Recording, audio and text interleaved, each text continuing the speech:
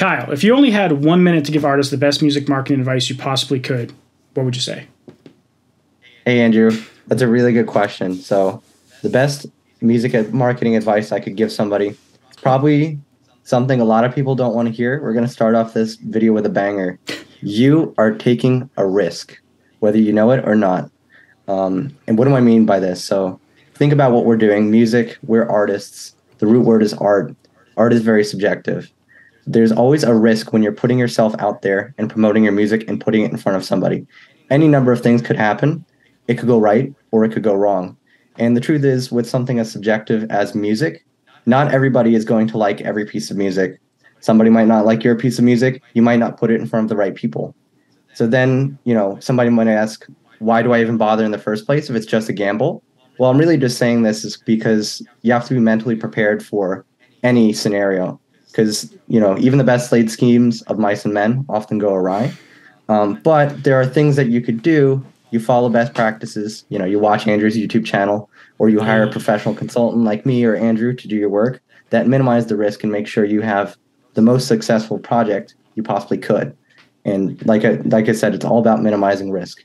And this comes from my own experience promoting my own music. When I first started out, all of my projects went terribly wrong. And it's from the mistakes that I learned uh, a lot of what I know now. But anyone who's just starting out has to understand that you know you need to be prepared for when things go wrong and how to learn and recover and come back stronger from that. No, that was great advice. Okay. And um, I think a lot of artists don't realize that uh, most one like things you're going to fail a lot more than you're going to succeed in general. Mm-hmm. And, and, honestly, I think that's true with most things in life. Like YouTube channel stuff. I mean, I I've uploaded 700 videos or something like that.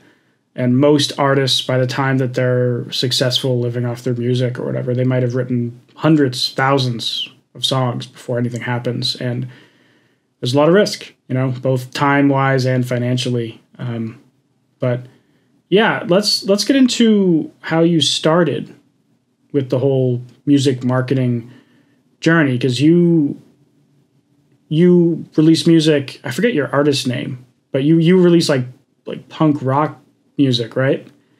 That's right. Yeah. So my artist artist name is Lenseye, so called because I wear glasses. It's just a portmanteau of lens and eye.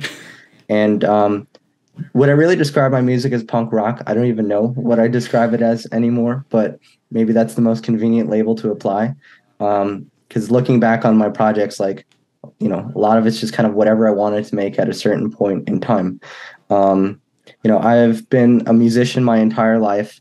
Um, you know, from a family of musicians. So my grandfather played guitar, my dad played guitar. I kind of absorbed that. You know, my parents got me guitar lessons as a kid. Um, I really actually started as a bass player playing uh, the double bass in orchestras, uh, classical music and stuff, and did that all through the end of college. I still have a soft spot for that kind of music. Um, but somewhere around you know the time when I was in college, which is not too long ago, I wanted to start releasing music, and I had this grand idea to make first an EP and then an album. Um, and you know, like many musicians, poured my heart and soul into this project, and then at some point asked myself, how do I get people to listen to this? I don't want to just chuck it into the ether and then, you know, have nobody hear it. I want people to hear this and engage with it and really love it. And um, for at least the music marketing part of it, I actually stumbled upon your channel sometime in like March or April 2020. Um, after all the lockdowns happened and you know everyone was at home trying to find new hobbies, things to learn, um, and I started playing around with Facebook ads, following directions from your tutorials, and um, had mixed success with promoting my own music in the beginning, as I alluded to earlier. Um, you know, I, I, promoted a single, uh, a handful of singles ahead of my album, and um, you know, releasing this album back in September 2020 was a huge project. And looking back, I don't know if I was prepared for it, but I don't know if anybody's ever prepared for something like that. Um, and I learned so much in the process of of promoting that album um, from not only from the things that went right, but mostly from the things that went wrong, which goes back to what I was saying before about taking risks. And it was taking that risk and you know seeing the things that went wrong and really digging deep and assessing um, that I gained a lot of the knowledge that I have now. And then you know I started experimenting with things. I was in your Facebook group at that point too, and I published some uh, experiment that I was doing on a comparison on different landing pages, comparing Hyped versus Toneden. Um, yeah. And I think you you noticed it and you you picked it up and you said, "Hey, do you want to present this on my channel?" And so I think it was like uh, fall of 2020. We ended up putting that video up where I was explaining some uh, experiment that I did and walking through all this arcane math. Um, and that was kind of like a jumping point. I didn't know at the time, but that was a jumping point towards doing it professionally for other people. Because at that point, I had only done it for myself, for my own music. A handful of people saw that video on your channel, and I don't even know how they found my contact info because it wasn't like directly linked on there. Yeah. But they tracked down my contact info, and you know, the the first person to try to hire me was this band from Idaho, and said, "Hey, we're releasing an album early next year. Can we hire you to do our music marketing? You sound like you know what you're doing." And I was super reluctant at first. Like I said, never had done it for anyone else. And he could tell I was waffling, but essentially he was like, please, we'll pay you, we'll give you money, you'll do a great job, it'll be awesome. And so it was it was a leap of faith on my part to trust that everything was going to work out and just, you know, try applying what I learned from promoting my own album just a couple months before to promoting his stuff. Um, again, it's like it was taking a big risk for me, um, and it was a risk risk that paid off handsomely, I would say, because um, I ended up growing this whole business, Kyle the Ally, out of that. That whole first experience that I had working with this band in Idaho was so great, and he was so happy with the work we did together that he's like, you know, you have something. There's a real need for this. Why don't you just do it for other people? And I was like, oh, I mean, it seems obvious, but it wasn't to me at the time. And um, the yeah. name Kyle the Ally came from a conversation that the one band member and I were having once over Zoom. He said, you know, what I wanted out of this process was not to hire some, you know, company that was going to handle my music and do these things. What I really wanted was an ally, somebody that I could trust, who understood the music and who I knew would handle my music like it was his own. And I remember him saying that word ally from that conversation, and that's what stuck with me, and that's why I created this brand, Kyle the Ally. Mm. You know, I'm not trying to po- pitch myself as some kind of marketing company, rather, you yeah. know, an ally or you know somebody who can help you, who understands the process and the emotions that go into this um, to help you succeed in your projects. So yeah, yeah. I mean, I, you know, as someone else who also owns a essentially a music marketing ad agency, Forbid Media, there's there's something that there's something to that I think from from the average artist perspective of of why people might decide to go with with us versus with us versus Kyle the Ally, you know, because they might want someone that's going to be it's just a different type of relationship, right? Between working with like an individual versus like a company, and there's there's different reasons why, and I, I see why that first person might have felt that there was like this is like a, almost like a partnership kind of thing.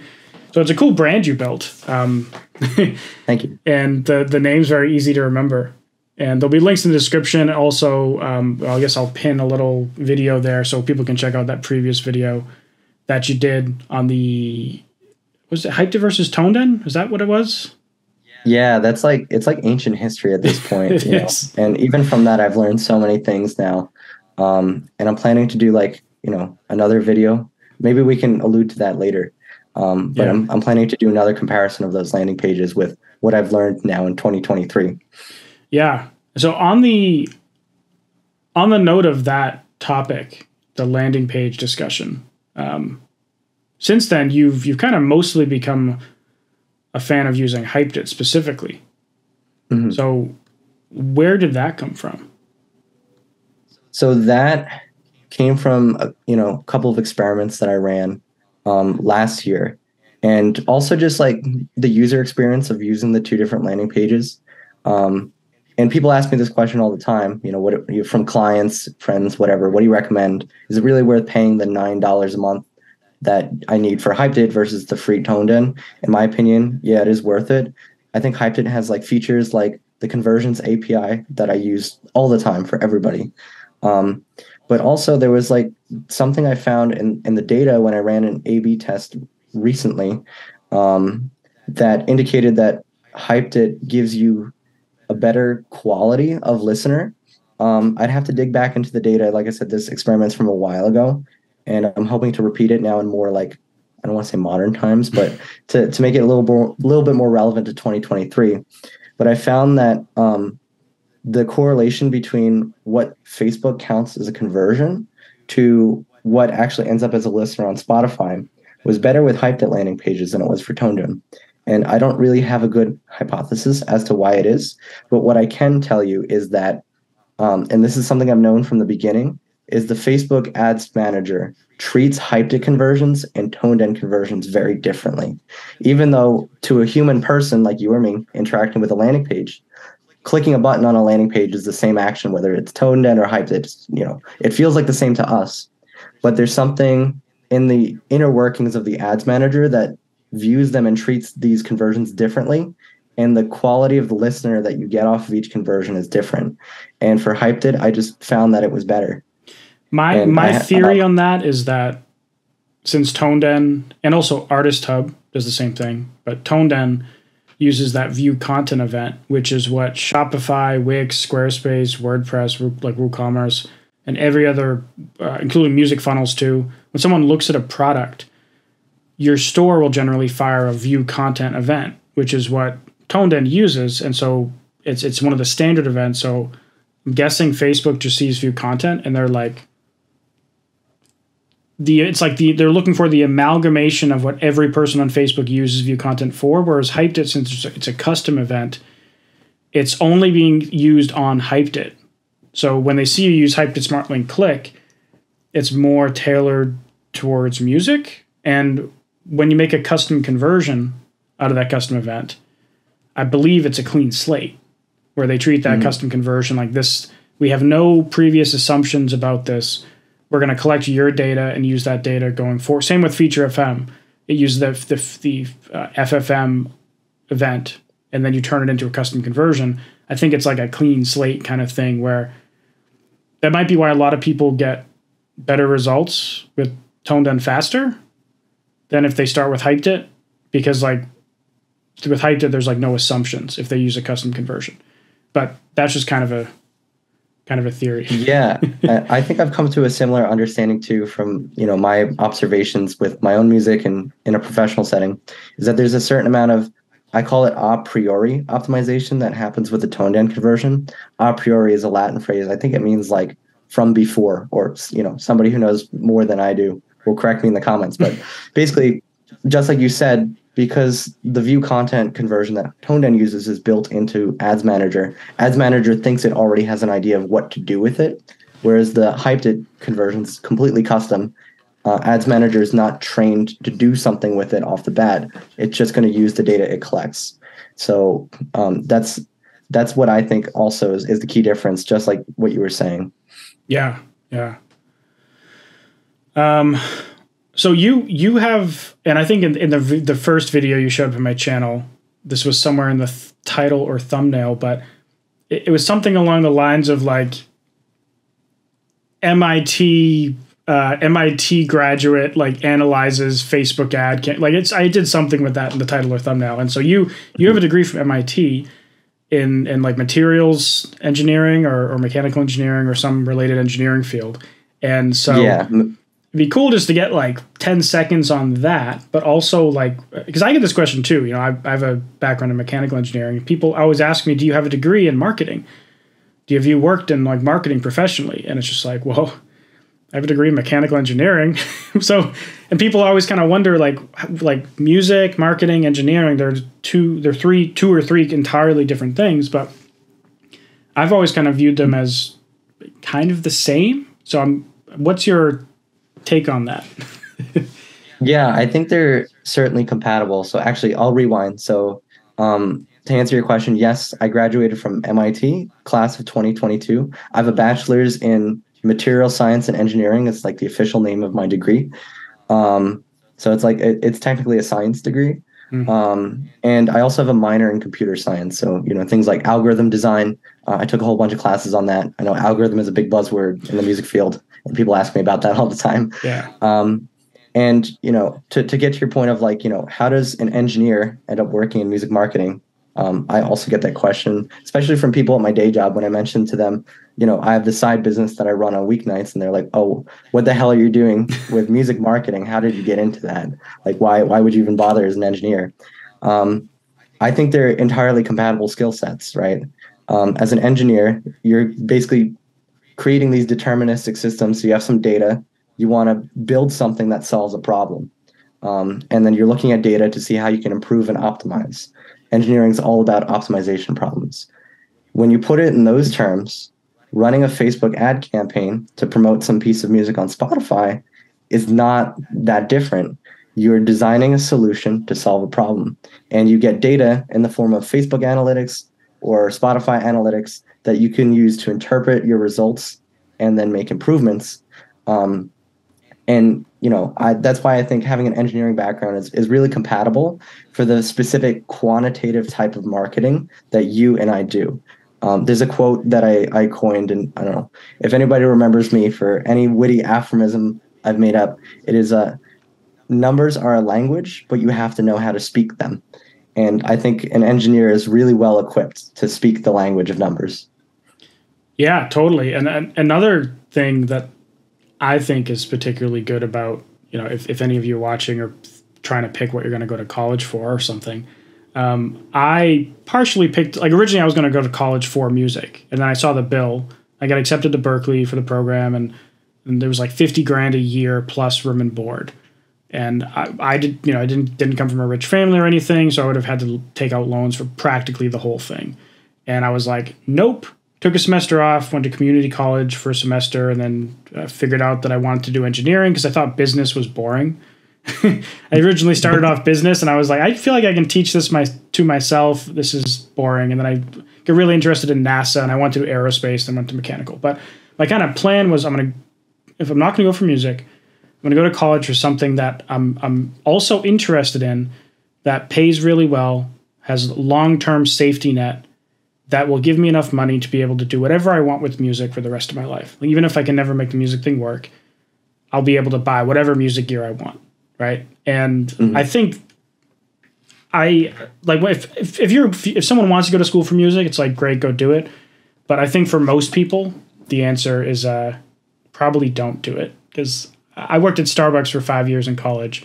I worked with so many people who had degrees from Berklee School of Music, other prestigious music programs and um, but yeah, I agree that the whole data anal- analysis thing, like sometimes I'm ex- like explaining certain stats to a musician that has no background, and they're like, "Oh wow, like I never, like how'd you do that? I never thought of it." And to, I, I think there's a lot of things that we take for granted with a science background that a lot of people um, just don't find as easy. And so I, I think it, they're totally aligned. Like even something just making a spreadsheet to graph results. When you have a technical background, it's like you don't even think about it. Like let me just whip up a spreadsheet, take five minutes. But like, uh, if you have never done that before, it's like you start sweating. You know. mm-hmm. Yeah. Yeah, and I'd say even you know going to a school like MIT or any engineering school for that matter trains you to think with a certain level of rigor and to not take things at face value. Um, and of course, like if you have a science degree, you learn, you know, things like how to do an experiment, separation of variables, um, things like, you know, all the stats that show that what you're actually testing is a real result and not due to random chance, things like that. And it's it's a really engineering and science are all about just methodical ways of getting down to the truth, or at least the best best truth as we understand it. Yeah. Absolutely. So you run a lot of Facebook ad campaigns for music. Um, mm-hmm. And I think it'd be good because one question I get probably more than anything is my cost per result is really, really high. How do I get it lower? mm-hmm. And there's a you know there's a million ways to answer this question, but if someone just leaves you a comment on a video or something and says, "My cost per conversion is a dollar fifty cents" or something really high, I'm a pop music. I'm a, I'm a pop music artist and I'm I sound like so and so artist and this is what I've tried. Like what kind of steps would you give them or order operations to go through to try and figure out and get their costs down to something at least manageable but ideally great? Yeah, I'm going to I'll kind of work off the cuff even though, you know, I have like a formalized way of you know an order of the way I'd work off of things, but off the top of my head, what would I do? Um, you know, so if if things are going wrong, then you have a license to start making changes. But of course, be methodical about the changes you're making. Um, avoid making 10 changes at once because then you don't know what actually solves your problem if you did or what made it worse if you made it worse um, and that's a mistake i fell into in the beginning but i would start at looking um, at the audiences so if you're getting poor results a really high cost per conversion with the audience that you're using maybe you should start by opening up your audience because sometimes we fall into the habit of strangling the the facebook ads manager um, I don't want to say AI because that's such a tired catchphrase right now. Well, we we get caught in the habit of strangling Facebook Ads Manager by saying we need to target fans of Dua Lipa who also um, work at Starbucks on the Tuesday shift and um, drive this car and they live in Boise, Idaho. Um, you know, uh, that's a, that's a, of course is a comic exaggeration, but um, we fall into the habit of being very specific about who our listener is sometimes you just have to take a step back and acknowledge that maybe there are other demographics that you haven't considered that could also like this music. So if you're if you're targeting fans of Dua Lipa, maybe take a step back and just target fans of pop music. Um, or just shotgun blast a whole bunch of artists that are operating in that sphere to cast a really wide net and start by seeing if you can get an improvement with a wider audience and just giving the ads manager time to use the extra options that you've given it to re-optimize and find that niche within that umbrella that really likes your stuff. After that, I'd start looking at the creative. So things like, um, you know, the video oftentimes is just the video you have, um, but you could do clever things like you can shuffle the thumbnails because um, the thumbnail is the first impression that you make on an ad. It's the first thing people see when they're scrolling through Instagram, whether we like it or not. The visual leads, not the music. And um, sometimes you could just try a different thumbnail and see, well, maybe this one is actually going to catch people's eyes better. Um, I've had success in the past changing the captions that I use, um, the little text that appears below your video. Um, you know, previously I had been running an ad campaign that had no captions. It was failing miserably. And then the client and I sat down and we brainstormed a whole bunch of new ideas that we thought were attention grabbing. Um, and we just pasted those into the ad and it turned around the performance of the ad. I was actually shocked. And that's when I learned the importance of writing a good and catchy caption.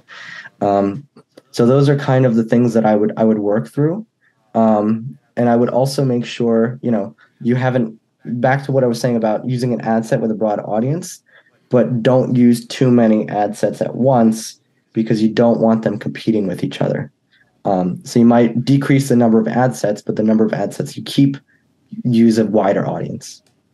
Gotcha. So there's there's a few things in there that I wanted to comment on. So the first thing, uh, broadening the audience. So totally agree. By the way, uh, this one I just want to add some point that I've had people, you know, tell me like I have trouble figuring out what to target. I want to target Juice WRLD and XXXTentacion or however you say that guy's name, and they're not on Facebook, and there's nothing for me to do. And then I tell them target Post Malone, target Lil Peep, Target Machine Gun Kelly, Target someone else. Like I don't sound anything like Post Malone. I don't sound anything like Lil Peep. I sound like Juice WRLD and Exit. Like to to Facebook, Post Malone, like it, it's more than close enough. You know, mm-hmm. and a, a lot of artists get stuck in this trap of like this is who I sound like. I sound nothing like this, but when you break it down to like what what's the general vocal style, what's the general genre, what do the instrumental sound like, you can often think of like 10 times the number of artists. Like, I don't sound anything like Post Malone.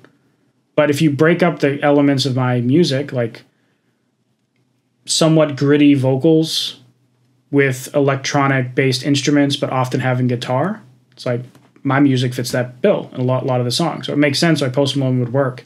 Or Linkin Park. My solo music doesn't really sound like Linkin Park, but what does Linkin Park do? They blend electronic and metal and rock and pop. And what do I do? I blend all those things together. Um, it's interesting that you actually test out the thumbnail because mm-hmm. my assumption is what's always been that because like on reels and stories you never get a thumbnail and explore and feeds the only way you get a thumbnail is if you're on a phone and you have the data saver option on. So if you found that when you, you it actually makes a difference. Sometimes it does and you know sometimes it doesn't. I'm not claiming it's a silver bullet solution. Yeah. But um like i said you know in certain scenarios um like you were saying if your phone's on data saver whatever scrolling yeah. through instagram um you know someone on bad wi-fi um, is going to see the thumbnail. It's like the first impression you're going to make. So you want to make sure it's a nice well composed image. It has a subject. It's clear. Things like that. Yeah. interesting. I might actually start paying more attention to it then, because especially if you're targeting countries that have or are more developing or have worse connections, like uh, you know, I don't want to stereotype any com- any country, but I would imagine that this cell connection and cellular plans in in Mexico aren't as reliable as they are here in the U.S. Just a complete yeah. generalization. Don't burn me for it in the comments, please. um, but you know, it's like so. It makes sense. Like if you're targeting Mexico, and if there's a lot more percentage of people with bad cell connections or they don't have unlimited data, um, that it would help, you know? Yeah, or even outside the US in general. Like you'd be surprised. I lived in Germany for, you know, a small portion of my life. And even the internet that you have there is nowhere near as fast as it is in the US most of the time. Because oh. um, I remember like first moving there and uh, the supervisor I was working for at the time was like, "Oh, that's so cool that you do this thing with like video conferencing, but don't expect too much out of the uh, the broadband internet in Germany." And I was like, "Okay," and it was true. You know, even you think of Germany as like it's it's a very developed nation. Um, yeah. You know, one of the wealthier nations in the world. Um, but you know, outside of the U.S., a lot of countries struggle, um, even even in the developed world, with internet connection. Yeah, yeah. Well, that's a cool tip then. The the captions I found a lot of artists ignore as well they'll put nothing in. And part of that might be my fault because in the past I would put nothing in there. And you know, at this point, I probably a hundred YouTube videos where I put nothing in there, so people just follow those old videos.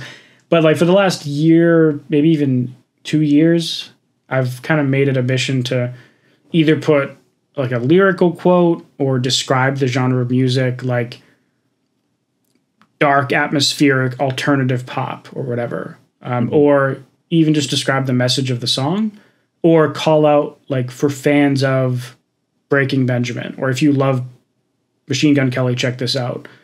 Um, what kind of are there any kind of templates that you found outside of those that that work for captions? Yeah, I'll say captions are, are always the number one thing artists struggle with when they hire me to help them with their ads. Uh, it's not a skill that comes naturally. It's something I've gotten a lot better at just from practicing it over hundreds of campaigns at this point. Um, but you know, I have if, if somebody hired me, I have like you know some templates that they can work off of. I actually give them a document of like you know these are examples of what have worked in the past. Um, this is you know templates that you should um, you know think about crafting it around. But in general, make sure it's not longer than one sentence and even you know a phrase even. Um, you want it short, sweet, to the point, nice and punchy. Um, and you know things like um, one that sticks in my mind that was a really successful one um, for a metal band that hired me. Uh, the caption we used was, "This is a song for people who live for the mosh pit."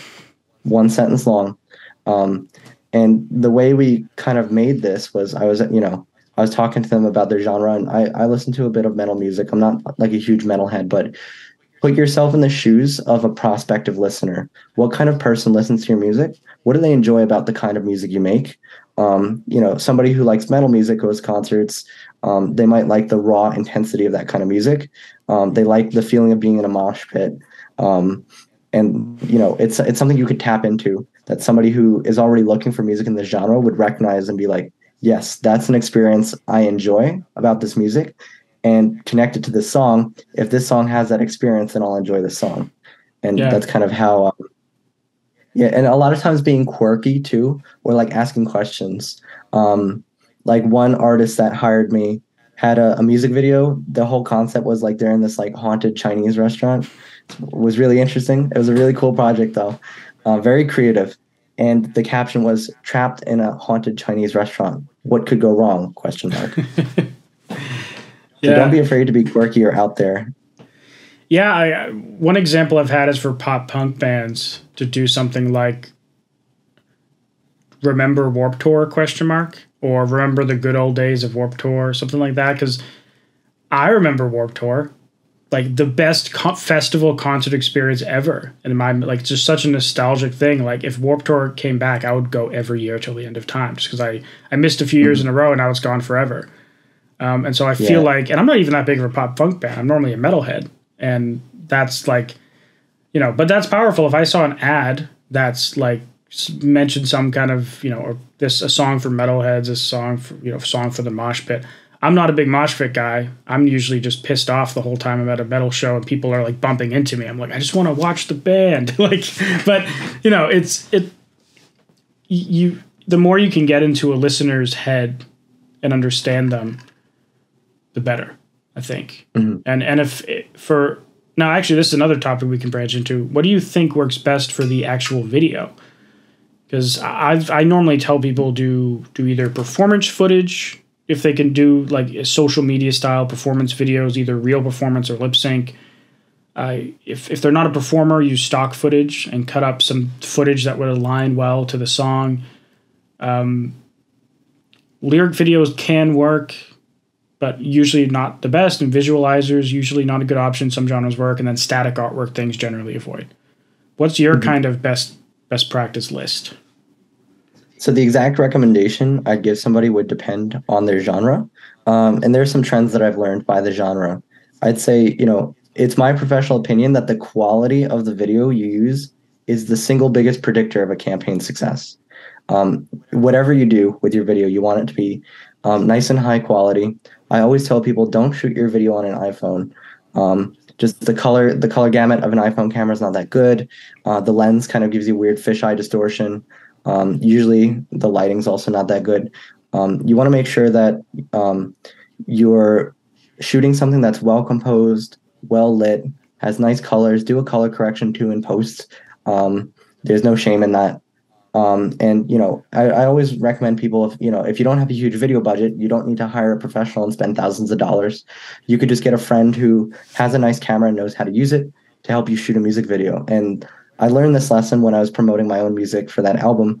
We did a music video where we just um, we went to an abandoned factory near my house where I grew up in New York, and we um, just put a couple of you know Canon uh, DSLR cameras on tripods, and it was just a video of us performing through the song uh, we switched between different angles. Um, but it was, you know, the lighting was cool. The scene, the scenery was really interesting because it was all like urban decay and it matched with the theme of the song. Um, and that was like my most successful music video to date. Um, and yeah. so that's why I always strongly, strongly recommend make sure you put a lot of care and effort into your video and make sure you're putting your best foot forward with the video. Now, you know, for specific genres, um, if you have anything that I would call guitar music, um, very broad umbrella term. So that'd be like like includes, rock, metal, country. Exactly. Yeah, rock, metal, country, uh, pop, punk, punk, what you know, whatever. If it's guitar-led music, um, th- those audiences like to see performances. Um, they like to see a band. In particular, they like seeing drummers. I don't, I don't know why. That's, a, that's an interesting observation. I guess watching yeah. drummers is a lot more interesting than watching guitarists normally because like drummers just move more. It looks like what they're doing is exhausting, and like you know, look at the band Tool. Mm-hmm. It, like with those Danny Carey performance videos go super viral on YouTube because mm-hmm. he's just like I mean it's just so crazy to watch. But like a, a technical guitar video like a Steve Vai or a John Petrucci video, it's not going to go super viral on YouTube in general. Not as viral as the drumming video. But that that's a very yeah. interesting ad observation that I've I've never tried. yeah, yeah. So you know that that kind of music is all about performance. Let's see what else would I recommend. I usually steer people away from lyric videos just because I generally don't like text on ads to begin with. Um, not to say that lyric videos and visualizers don't perform well. Um, certainly, I've had campaigns that I've run where an artist gave me a visualizer or lyric video and it went well but I've seen also plenty of them not perform well. Um, and I keep coming back to this idea of risk.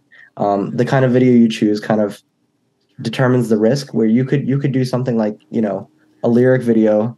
Um, it's a riskier choice than doing say like a performance video if you're a pop punk artist. Does that make sense? Yeah, yeah. The one interesting thing is on the on the camera note I would generally I generally tell people that like use a phone to film your to film your ads.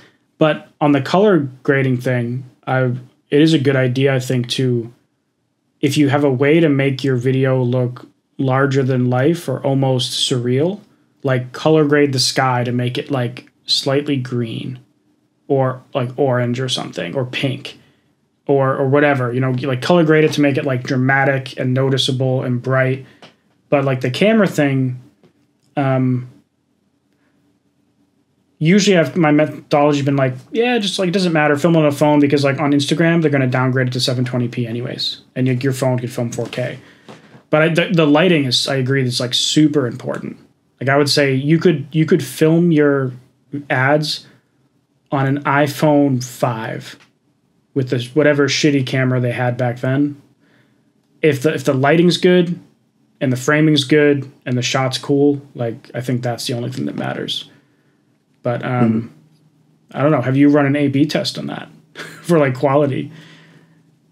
No, I, I don't have a like a rigorous A/B test on that. And you know, something I'm proud of is that I have a lot of A/B test tested data, and I like standing on data and results. But yeah. admittedly, I don't have an A/B test for that. Um, we'll have to get one. It's just something I've noticed on historical trends that certain types of videos perform better, certain yeah. types don't.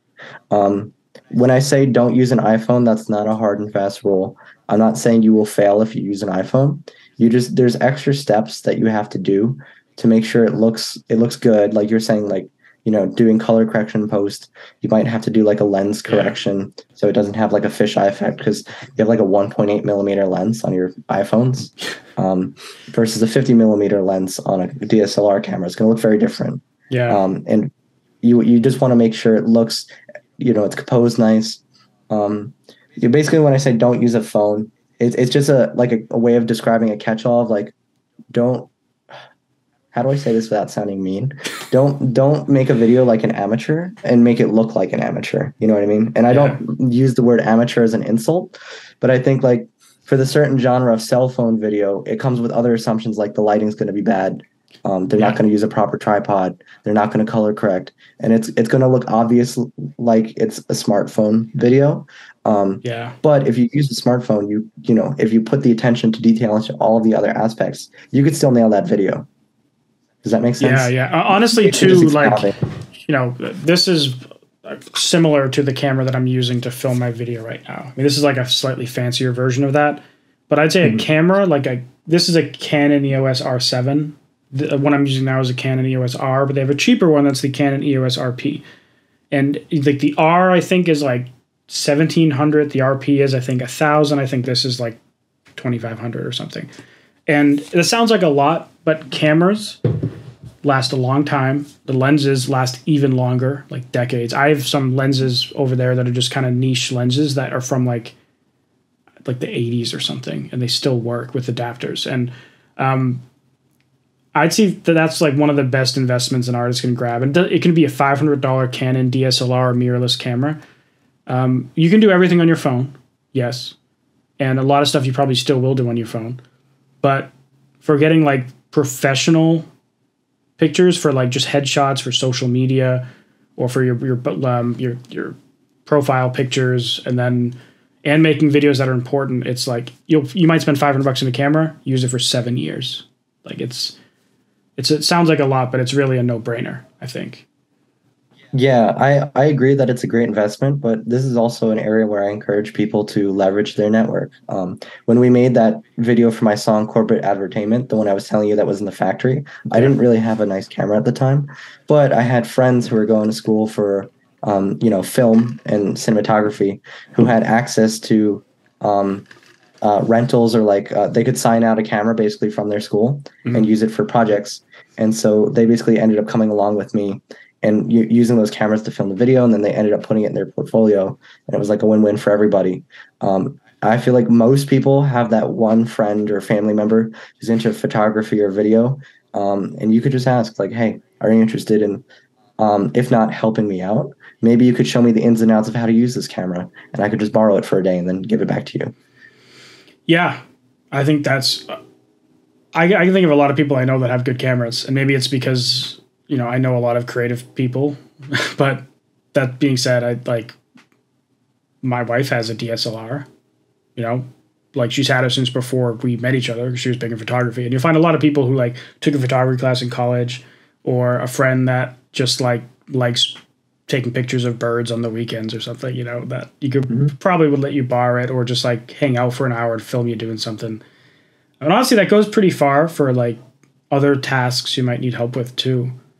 There's there's a lot of little things in, that you might encounter, like it, it, where if you if you knew a bunch of people that are do various things in the music world, like, hey, I need some help mastering my song. You know, if you're if you're pals, they'll probably just do it for free because mm-hmm. mastering is pretty quick. Or like, hey, I can't get this guitar tone to sound right. Like, what do you use? You know, and networking is pretty great.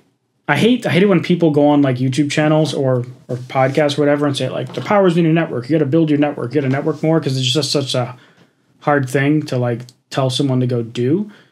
But yeah, over the years, one of the most valuable things in my life has been like essentially like the people you know. like what what what can you accomplish not just on your own, but like with all the people you can contact, what kind of things can you put in motion? Um, so yeah, knowing people, it's a good thing. Yeah, it's like there's always like those cringy like millionaires on YouTube. They're like, yeah. oh, I was actually just watching one of those videos earlier, not by choice. YouTube like decided it was going to autoplay it in the background while I was cleaning up my room. It was like this like 20 year old, you know, 20 something guy who made like 42 million dollars in his 20s, and he's like, oh, just leverage your network, you know, get more friends. Like, oh, if only it was that easy, we'd all be Right, right. That's that's the cringy thing that but it's like it is useful if you just like the nature of making more friends who do what you do or have skills that are related to what you do like it it pays off so much long term. And whoring yourself out on Instagram is not the way to do it. Or like how people were doing it 3 years ago. What was that stupid audio app that everyone was using for like a week Clubhouse Clubhouse, they would hop on and just hang out in these eight hour long chat rooms and build their network or whatever. And either way, rant over. I don't want to spend too much time on it. yeah. Uh, yeah. So uh, when you do these A B tests, like as you mentioned, you do these rigorous A Bs, do you mm-hmm. use the formal Facebook ad A B testing tool or do you do it manually in some other way? So yeah, I do use the Facebook A/B tests uh, function, but only for one specific reason. It's only one part of the experiment. When you use the A/B test feature in Facebook Ads Manager, what it does is um, it's basically taking the two or you know however many ad sets you include in that um, A/B test, and it's making sure their audiences don't compete with each other, and your ad sets are not driving artificial competition against each other and so um, that's kind of just a like a part of what I say when I mean uh, that sorry that's just a part of what I mean when I say running an A/B test. The data that Facebook spits out at the end of the A/B test I found is never useful. I would rather just track key metrics that I care about in a spreadsheet, basically day by day, to paint a picture, and then at the end of two weeks when my test is done, um, I could do some statistical analysis, like confidence intervals, things like that, hypothesis testing, to look at the results that I got. So the A/B test feature is is part of the puzzle, but I'm also building an entire experiment around it, and that's what I mean when I say A/B test.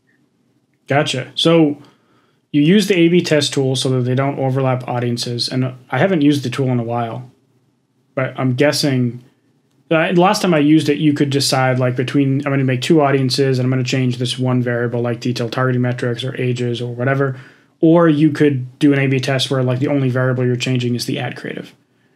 Um, is that still the case? Yeah, to be honest, I I kind of just ignore like when you're setting up the A/B test in Ads Manager when it says choose your variable that you're segmented by, choose the metric of success that we're going to measure this by. I kind of just I just choose like a placeholder thing and kind of ignore it because I'm collecting all my own data on the back end. It, you know, gotcha. I don't really care about what Facebook spits out as a result. I just care is it separating my audiences to make sure they're not competing. Mm. Gotcha. How much money would you put into an A/B test typically? Um, I think the budget is like um two hundred eighty dollars for across two weeks if you're testing two, you know, uh, a variable with two different experimental groups. And That's think that a very specific to, number. How did you get such a well, specific number for that? well, two hundred eighty dollars divided by two weeks. That's one hundred forty dollars a week. Divided by two groups, that's seventy dollars. So it's like ten dollars a day, basically. Ten dollars a day per ad set. Yeah, that's right. Okay. Now, have you tried doing like half that budget? Does it does it does it work fine or like if someone if uh, someone uh, had like a smaller budget, like can can they still run a meaningful A/B test? Or I'm guessing the answer probably kind of depends. Yeah, I tried um, doing basically half that budget and seeing if I could get away with just running experiments for one week. And what I found is it's just not enough data to have confidence in the result. Not saying that you can't get anything meaningful out of it, but more data will always make you more confident. Yeah. And I just found in my experience and uh, in the beginning when I was testing out just the methodology on how to do this in the first place, two weeks is the sweet spot. It's not too short where you know you're not confident in your result. It's not too long where you're blowing a whole bunch of money for no reason.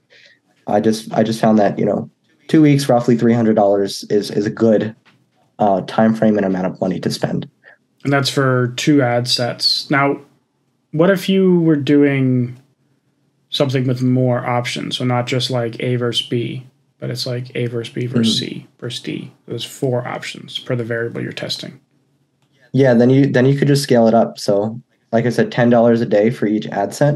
So let's say you were doing A versus B versus C versus D. That would be ten dollars a day times your four ad sets times 14 days and there's your budget. Gotcha. Okay. So you, you, you just, you, you tend to find that 10 bucks a day per ad set, and then it's just a multiple of how many, how many options you're testing. And so that's right. Yeah. And I, I recommend, you know, at the bare, the bare minimum, you probably want 10 days worth of data. Um, yeah. I like, you know, two weeks is just 14 days. It's a convenient time window. Um, but when you're doing your statistical analysis, you know, this is where stats gets a little bit subjective but I like having at least 10 data points if I'm ever going to draw a conclusion on anything. Right. And just to clarify, you're not, you're not doing an A/B test every time you launch a campaign for a song. You're doing A/B no, test no, no. to learn a specific fact about the nature of this type of or whatever type of ad campaign you're doing. Like you want to know in general if like if I have an ad with text versus an ad with no text or visualizer versus a thing. Um, which one tends to work best? Yeah, so that's I think you hit the nail on the head. So when I run an A/B test, I'm running that for myself to advance my knowledge and understanding of how Facebook ads work. You know what choices are, are the best to get the best results. Sometimes clients commission me to do these A/B tests for them. Um, by the way, that's something I, have done. Um, but if a client comes to me and says, "Here's my song, I want to promote it on Spotify," no, I would not run an A/B test on that because they're paying me for a result. Yeah. And that's where I'm going to use the knowledge that I've gained through all the A/B tests that I've done to know what are the best choices to make, how to best set up the campaign, um, and to give them the best result possible. Because I don't I don't want to experiment on a client's project. That's just I feel like it's ethically not right. Yeah. Well, the reason I say that is because a lot I've had people message me when they because I'll mention the the phrase A/B testing a lot in videos like the reason why we want to have multiple audiences and multiple ads because we want to be able to split test or A B test these different variables. So Facebook can put the money behind the thing that works best. And then people hear me say split test or A B test. When I'm really, you know, I'm really not using the language right, but it's just like, it's just a way, what you, we call it a split test essentially. Um, as people hear that and they're like, oh, so I should use this A B testing tool every time I make a campaign. I'm like, no, no, no, no, don't do that. Don't do that. um, yeah, Good. Yeah, I, I do test things when, you know, I'm hired to work on a project. I wouldn't call it an A B test because it's not rigorous. And what I mean yeah. by that is like let's say they have like four ad sets running and they say, Oh, let me try adding in this other artist. Let's try promoting Machine Gun Kelly alongside these other four audiences that we have running. So I'll make a new ad set for Machine Gun Kelly and run it alongside the other four and just give it a couple days and see, you know, which one comes out on top, what's the performance look like um, that's of course a test, but it, I don't call it rigorous because I didn't do a proper separation of variables. Yeah. I'm not ensuring that every ad set's spending the same budget, and I'm not you know setting up the features behind the scenes to make sure all of those audiences are non-competitive. And the reason I don't do that is because you know when you're experimenting you're you're trying to find out a result but sometimes you make a step backwards. Yeah. And when i'm running a, um, a campaign for a client you could kind of just you know hot test things. It's okay. You don't have to be rigorous because you just want to deliver the result quickly. Yeah. and the knowledge base that you have from the other a b tests you did in the past are informing the choices you make now. Gotcha. What's the best result you've ever driven and what's the worst result you've ever driven, excluding like the first few campaigns you ever ran when you were learning? yeah, are you talking like in terms of cost per results? Think like cost per results slash Spotify results. Like if there's some like amazing, like this person got this crazy low cost per conversion, we delivered this high stream count within this period, and then on the flip side, what's the worst version of that? yeah.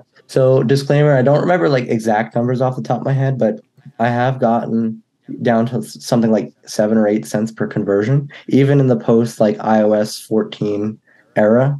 Um, you know, everyone likes to talk about that big specter of the iOS update that made things harder to, to track data and get good results. And then I found out there's things you could do to recover that performance and to get yeah. closer to what we had before. So, you know, that's that's something I'm really proud of is that I, I have delivered you know eight ish cents per conversion, and um, even to like niche artists. Um, like there's some artists who are releasing music and didn't really have a presence on Spotify, and then after we worked together on a couple campaigns, they now have several thousand monthly listeners just in the couple of months we were working together. So that's really cool. Um, yeah. Worst results, I mean, unfortunately, there's no ceiling for how bad a result can get, but yeah. I've definitely seen things that are like you know, close to a dollar, over a dollar per conversion. You never like to see it happen. Yeah. Sometimes it happens. It goes back to what I was saying about risk is that you can't predict how somebody is going to react to something as subjective as a piece of art. Um, yeah. And it's, it's always like hard breaking the bad news to a client and say, you know, this misperformed. Um, but it's part of, it's part of the, the way it goes. Yeah. I've, I've had times where I, I get, get a song to run for someone, and it's like the best song I've heard in a while, and then it's just a dumpster fire. And then we get another mm-hmm. song that I'm running for someone, and I think it's well, not so much nowadays, but there's been songs in the in the past when I didn't have so much work, I could like turn down what I wanted to, and I was like, ah, this song sucks, but they want us, they want to do a campaign. Let's do it, and it just does amazing, and it's like what is wrong with this world we live in? but it, it's the nature of it. Like one, music's subjective, so what's bad to you might be good to someone else, and vice versa. But um, and the other thing you said, like you've gotten con- conversions that are like seven or eight cents in a post iOS 14 world. A-, a lot of people claim that ever since iOS 14 came out, the campaigns have been bad. Facebook's ad, Facebook ads are dead. Yada yada yada. The top five best campaigns I've ever ran have all happened in the post iOS 14 world. Like I've had multiple 8 cent campaigns, a bunch of like 12 to 15 centers, 15 to 20 centers. Um, and I, I also had, I, I will say the only thing I've noticed in post iOS 14, like three years ago, a bad campaign, like a really bad campaign, might be 60 cents a conversion. And now a really bad campaign might be like a dollar fifty. So I feel like the worst things now do worse, but the good things do just as good. mm-hmm. I don't know if you found that to be true or not. Yeah, it's like the, the variability of the results you can get has widened. And you just have to approach that with those expectations is that your your ceiling for how bad bad can be is higher now. Yeah. But the the floor for, you know, how low your conversion, you know, cost per conversion can go is still, you know, it might be harder to achieve eight cents per conversion, but it is by no means impossible. Yeah, yeah. I mean, we've apparently both managed to pull it off multiple times, and like we may be the experts at this stuff, but I've I've had consulting clients that their their first couple campaigns they ever ran did eight cents a conversion. Their music was outstanding, at least I thought it was, but you know, they did it and that means it's possible because those are just normal people, you know, just dicking around with Facebook ads in their spare time. They don't like, you know, like make a living talking about Facebook ads like we do. yeah, man. So Kyle the Ally, um, what's the kind of we talked a little bit about earlier what you do. What's the kind of scope of services that you provide for people for those interested? Yeah, I'd say my bread and butter, 95% of the, the business that I do for clients is just setting up campaigns on Facebook Ads Manager to promote music on Spotify. That's like still like the hottest thing everybody wants to do. Um, and I feel like I've I've gotten really good at doing that one thing. Um, so that's the thing. That's the service I deliver most frequently. That's what I'm most confident in doing. But I'm also, you know, offering other things such as, for example, Google Ads. If you wanted to promote a music video on YouTube, I have experience doing that. Um, some TikTok ads, I, I really haven't done a ton of it, and I don't think TikTok TikTok's ad platform is like mature enough to truly compete with Facebook yet. Yeah. Um, but it's something I at least have touched a little bit of, and um, also, you know, if you're using Facebook ads to promote a playlist, that's something I've done. Or if you're interested in commissioning me to do an A B test, like I was describing before. Um, if you have some feature or something you want to try, um, that's also something. It's kind of like um, information consulting. I don't I don't know if there's like a like a category for that. Um, you should. you're, you're going to start a whole new a whole new category of ad agency where all you do is professional feature split testing, data, data consulting. That I honestly, I, I have to imagine that exists, but I've never heard of it before. So, yeah. yeah, I mean, to an extent, like I feel like real world consulting companies. Not that we're not like real. Um, that's a bad way to describe it, but someone like, that Pepsi would consulting hire. firms that are out there in the world um, do do something like that. You know, they'll they'll test things uh, when a client hires them and they'll deliver that result and say this is what you as the business should do to improve your sales or cut your costs. Um, that's what real consulting firms do uh, is, is stuff like that. And um, I so those are kind of the services I offer and I always offer uh, a prospective client two flavors for working together uh, there's a consulting route which is basically where you can buy my time by the hour um, and you're still responsible for making all the changes and all the outcomes, but I'll be there to coach you or to consult you, answer questions, walk you through step by step how to do what it is you want to do. Um, or the agent route, which is where you basically invite me to your Facebook ads manager um, to run the ads on your behalf. I build the campaign for you using input from you as the artist, and then I'm responsible for managing it and then giving you the outcome. So those are like the two the two methods I offer people. Yeah, so for those of you who have been who've been looking for for another me, here's my competitor. Go check him out. Links in the description. And uh, Kyle's been doing this for a long time, and I know he knows what he's doing. So I feel comfortable recommending his services. So check that link. Kyle, anything you want to tell people before we check out? Yeah, I guess one other thing. Um, I'm really excited that I'm going to be launching a YouTube channel uh, this month. Um, I might actually concurrently synchronize the release of my first video with, with when this drops. Um, it's something that you know Andrew's always asked me, Kyle, why don't you have a YouTube channel yet? Why haven't you done it? Because I have experience doing that in the past. I started like a robotics YouTube channel in high school. Surprised it's taken me this long, but um, I'm going to be sharing you know a lot of my knowledge, best practices, things like that on the channel. Um, hopefully on a weekly or semi-weekly basis. So if you're interested in that, um, hopefully, we'll also be putting a link to that in the description. You can go subscribe, um, follow my content, make fun of me in the comments, whatever you want to do. It's all there for you. Go call them four eyes instead of lens eyes or something.